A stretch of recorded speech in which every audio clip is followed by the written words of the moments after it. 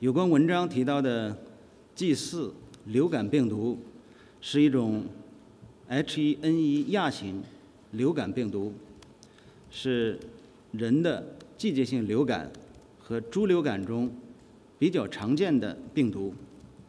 专家分析，该文章提到的检测样本量不大，不具有代表性。